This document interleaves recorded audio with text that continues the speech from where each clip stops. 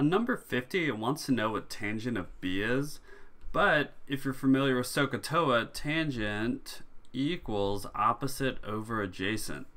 Well, if they want tangent of angle B, we don't know what the opposite is, but we do know what the adjacent is. Luckily, we can figure out the opposite by using Pythagorean theorem. So it would be 2 squared plus, I'll call it just x squared for now, equals 5 squared.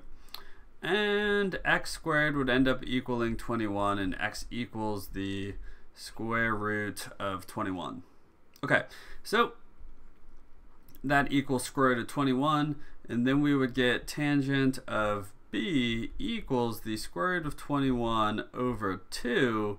So that makes the answer f.